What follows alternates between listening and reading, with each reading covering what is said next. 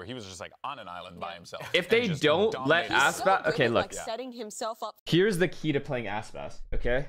Here's the key. You just don't let him get his lines for free, but you also try to avoid him. If you find where he is, either fully util dump him or avoid him entirely. That's it. If you are able if you're able to do that correctly, he won't own. Others might own, but he will not own. But you have to low key anti him. Lev had around that B site because